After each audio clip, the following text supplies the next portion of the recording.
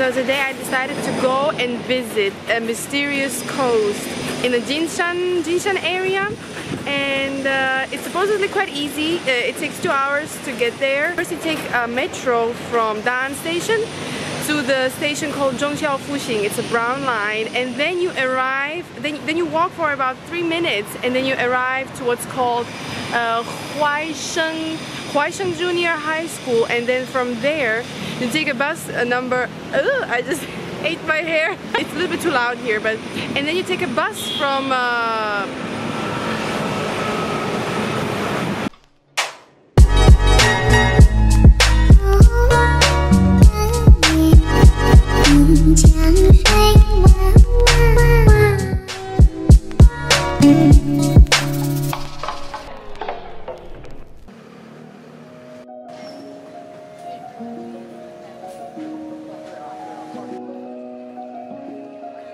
Thank you.